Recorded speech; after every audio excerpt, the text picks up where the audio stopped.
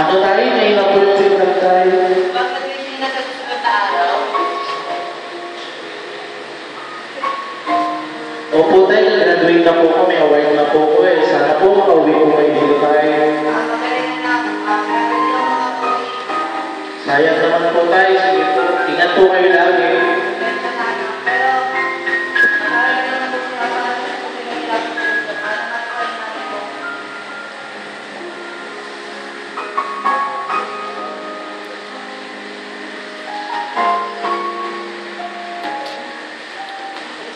Gusto po ito.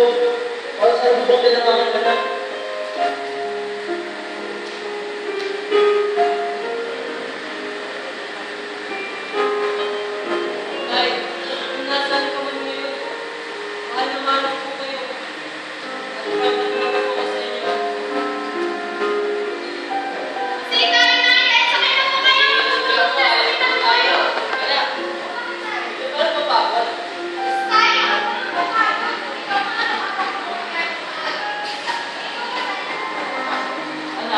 talaga, anak. Bilang isang ama, kakamahin lahat.